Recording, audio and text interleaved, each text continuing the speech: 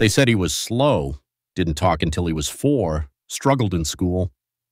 But that quiet kid from Germany, he would grow up to rewrite the laws of the universe. Albert Einstein was born in 1879, and while the world slept on his potential, his mind never stopped moving. By his mid 20s, he delivered one of the greatest breakthroughs in science his theory of relativity. In 1905, during his miracle year, he dropped four game changing papers. One of them gave us E equals MC2, the equation that unlocked atomic energy and changed science forever. As Hitler rose to power, Einstein fled Germany and later warned the U.S. about nuclear weapons, helping spark the Manhattan Project. But he wasn't just about science, he was a dreamer, a pacifist, and a man of deep thought.